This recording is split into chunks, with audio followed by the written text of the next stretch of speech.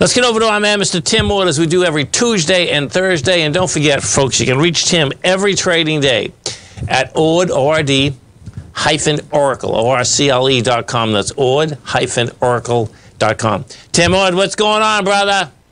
Uh, Well, we can we can start with the S and P's, or we're going to start with gold. I'm good wherever you want to go, man.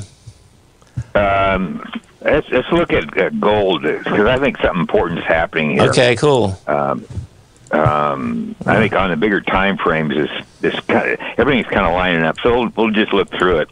Okay. Now, chart number one uh, is the uh, yeah, is the weekly inflation deflation ratio. And uh, so I put a ratio on it, then I put an RSI on it, which is the top window. Okay. And anyhow, when, when that inflation deflation ratio, which is the second window down from the top, the top window is the RSI for that ratio. Anyhow, when it gets down below 30 and turns up, it's been a bottom, and this chart goes back to 2015 or some 16. But yeah, that's. Uh, I have red circles on the, the chart. The bottom window is GDX. Next window up is XAU. Yeah. I really want to point out here, we did give a buy signal, I think, back in, uh, I think it was March, probably mid-March. I don't have the exact date. But anyhow, the RSI got down below 30 and turned up, so that's a buy signal. But what I want to point out, I have some. Let's look at XAU first, which is the second window up from the bottom. Yes. And I got kind of bold circles there. I see that. Yep. The bold one. Yep. Right. Uh, The only reason why I'm going to point that out because pretty much that made a double bottom when the signal was generated. Oh, uh, I see. In Yes. 2016, you got a buy signal. Then That- the market didn't do anything. Then They- you got another one. Then finally the market Then it took took off. off. And, and when you're looking at these folks, you'll see Tim bolded that those circles much bigger. Yeah, cool, man. I got, I got it too. Yeah. Right. Well, you know, on on XAU, that was approximately as a as a double buy about six months apart or four or five months apart. Okay. but it came pretty close to the same price. Now, if you go into 2018 and 19, the next bold uh, circle there, you kind of same thing happened. You got a buy signal pretty close to the same levels, Yes. and uh, a little bit lower, or the second buy signal was a little bit higher, but pretty close to the same level. And again, you go in the current time frame. We got a buy signal back. I think it was like October. Then you got another one in March. About six months apart again, and pretty much came at the same price again. Right. And if you look at the the prices, okay, so that's like double bottoms there. And the one off the 16th low, that was a mega rally. I mean, it took off and never looked back. Right. It didn't last real long. Uh, it went for you know a good six months or something. And then the one in 2018, 2019, that kind of double bottom uh, there at the same price, that rally lasted you know close to you know a year and a half, two years. Uh, so now you got a, another double buy, pretty much the same price level. So either, you know, we don't have enough. Uh, you know, if we had 20 different examples, we don't. We only have three examples. But you know, either we're going to rocket, keep going up like we do in 2016, or it's going to be extended rally, something similar to what happened in 2019. You know, you know, just an observation. But either way, we're at a buy signal. So I'm just trying to get conclusions going forward how big this rally is going to be. Yes. So this is just a hint of what could happen. It's not saying it's going to happen. So let's let's look on further here. And you know, Uh, you know, we also have. I mean, when you really dig into this, folks, what you're going to see, and this rally here, Tim, we've had many more signs of strength. I got the charts Yeah, up, yeah. and I just remember that that market. I mean, it, was that was almost a stealth one. The one, you know, the, the the one prior to this one, actually, which is kind of wild. Yeah. Okay, go ahead. I'm sorry. Yeah. All right. Let's let's uh, flip to uh, chart. Uh, we're to uh, yeah flip to chart four. Okay. You know, this is uh, just cycles for gold. Gold's really pretty good at cycling. Okay. And anyhow, I got a uh, uh, I got a uh, 16 year and 8 year cycle. Uh, so I could took it back further. It's a little bit messy that the software I use to do quite um, ideally here, but anyhow, I gave a major uh, uh, buy signal when both the 8D, uh, the 8 year and 16 year bottom back in in 2016, and uh, the market went up, and and now we got the eight year bottom here just in uh, looks like late 2023, and so that this is on gold. Yes. So uh, we're in that cycle, and and I got some blue circles on there uh, on the cycle to, to identify the mid cycle uh, of the eight year cycle. So I got Okay. the blue circles on there. Yeah. So anyhow, the the eight year cycle. Um, in other words, four years later, it, pe- it peaked on the eight year cycle. That's that blue circle I got back in 2012. Okay, I see it. Yes. Am I, Yeah. yeah. Okay. Then, then 2020, there's a blue circle again. Yeah. That's the halfway point of the uh, red circle, the eight-year cycle. Right. So anyhow, if this thing goes another four years, it'll be August 2027. Is my Oh, point. We go another So- four years, man. That's going to be some Yeah. fun. so, so anyhow, but they, they peak out at the uh, half cycle of the red, the eight-year cycle. Okay. So. Uh, so yeah, I want to point that out. That's a possibility. So, because I'm thinking we're, we're we're doing something on the bigger time frames here, not the smaller time frames. No, you can see it. You can see it in the whole commodity complex, actually, which is pretty wild. I mean, you know, this is Yeah, this. and you know, you know, this market's been terrible yeah. uh, for you know for for a while now, and so we're we're needing something other than uh, terrible. you know, so, It's, you know, but uh, anyhow, if- yeah. yeah, it, it's. So, yeah, let's go to chart uh, two. Okay. Kind of skipping over, but and this is uh, where we are right now. Anyhow, the second window down from the top is the bullish percent index for the gold miners index, and I don't know how many stocks are in that, but anyhow, what it, what it measures is the, the percent of stocks. Is it is that the music coming up? Yep. on? That's all right. Just, just stay right there, folks. Tim and I are going to be coming right back. Uh, we have the Dow Industrials right now trading down 76. Nasdaq's up 14. S&Ps are off 6. Tim and I come right back, folks. Welcome back, folks. Uh, Tim Ord, Tom O'Brien. We do appreciate you growling a problem with us out here. And you know, Tim, when you you were saying that you know you feel like like something's happening with gold, it is pretty amazing. I mean, in the last two months, the physical contract is up 15 percent. I mean, the equities are up beyond belief. So it's pretty wild that we have something like this right now, and that a very it may be the beginning of the move, right? Yeah, I'm, I'm thinking. Yeah, I think we're we're we're still early in the move. I can, uh, as we go along. Um, actually, let's, let's flip to chart three. No, I know because I'm keeping track of your that that monthly one that that Right. we don't have that signal yet. This is really cool, folks. If you've been following Tim and myself, I mean, you know, this monthly one is, is a monster and it hasn't hit yet. So that's really cool, man. Yeah. Right, but uh, let's go to three because this is a weekly. Okay, I have it. It's the same thing.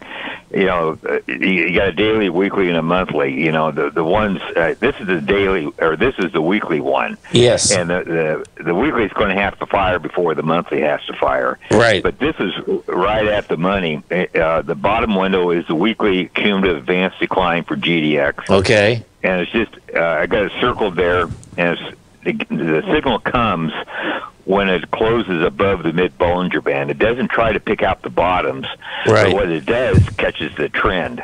And so and usually once it gets on a buy signal, it stays there for months, if not years.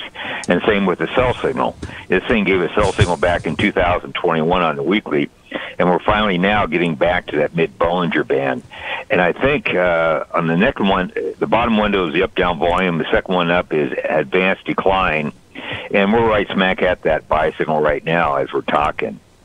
So this is uh, still, you know, even though the market's rallied really good over the last couple of months, you know, if this thing kicks in, you know, the previous signals of this uh, on the weekly time frame were, uh, you know, I'm eyeballing it here. It looks at a minimum as a year.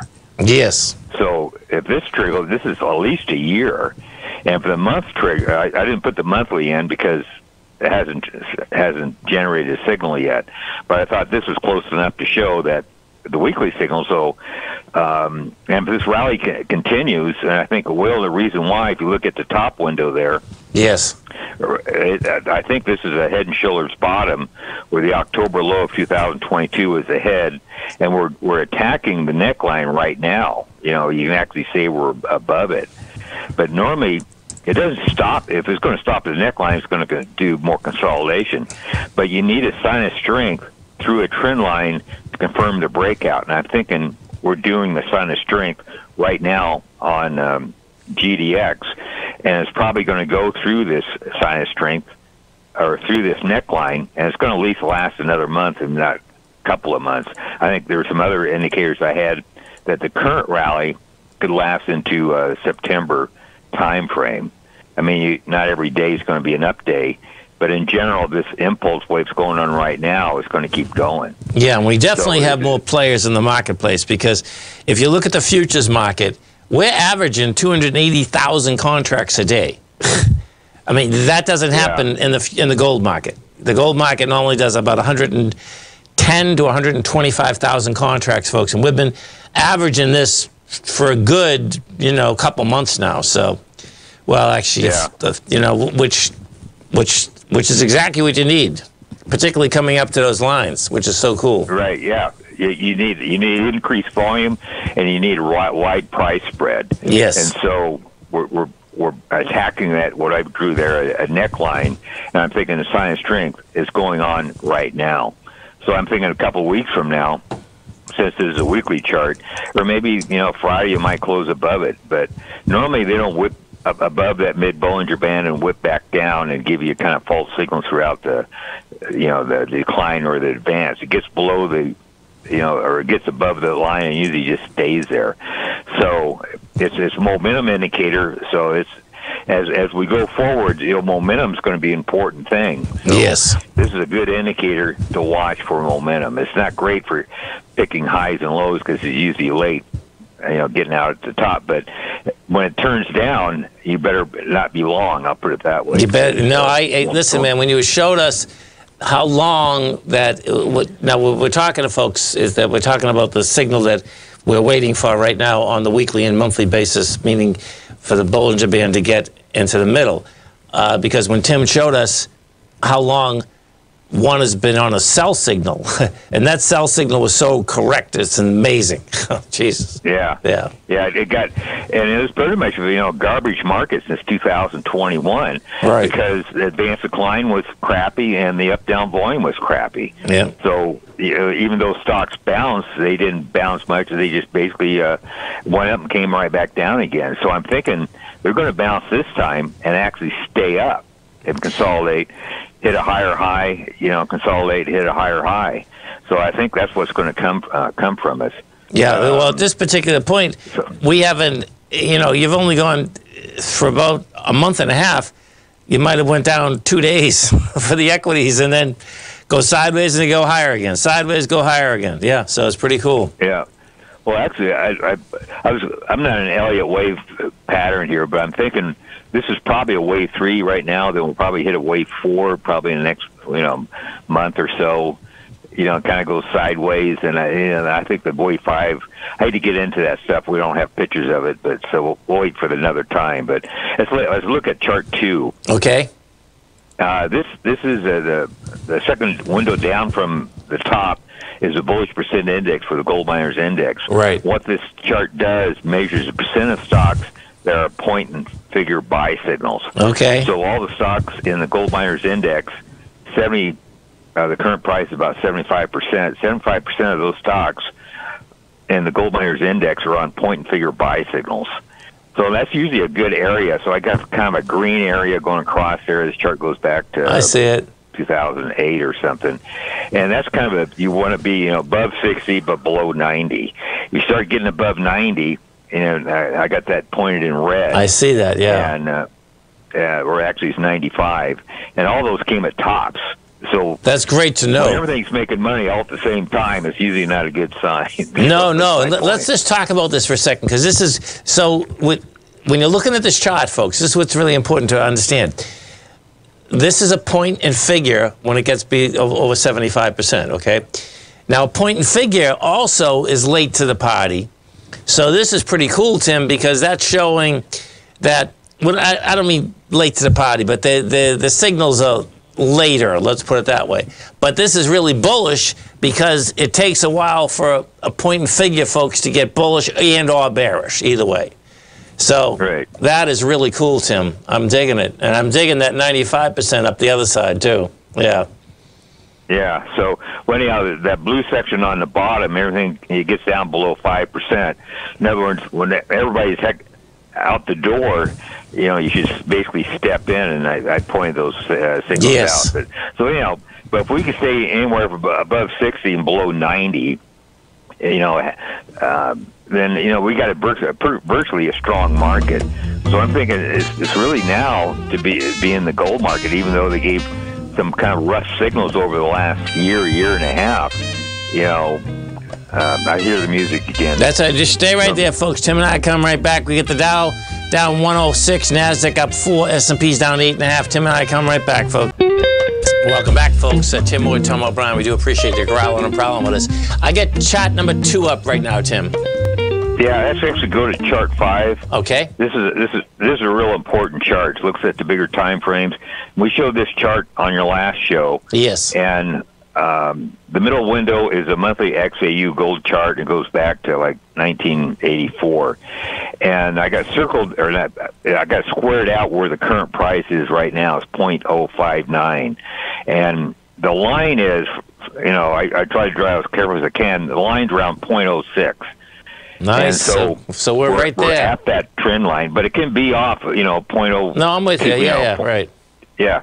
So yeah, we're there, and if this rally continues, it's going to push that that uh, XAU gold ratio most likely through that line. Maybe we'll get it So tomorrow. I don't See- any. Yep. Yeah. So I don't see any top in the XAU other than a minor consolidation Yes. over the next maybe month or so. There's no like top of any consequence here. So I'm thinking this line is going to get broken here, you know, really, really soon. You know, this month, if not this month, probably next month. And that trend line's been going down for the last 20, well, actually 30 years. And so this, if this ratio starts to turn line. up, Yep. it would be a huge boon uh, to the gold stocks. You know, gold itself too, but probably gold stocks. Sure. And the So, longer the line, folks, that's out. why You Tim know, would. you look at the bottom window there, I got Yeah. broke out. So I, I wanted to point that out. And the reason Tim So- was bringing up that line, folks, the longer that the line is, the better.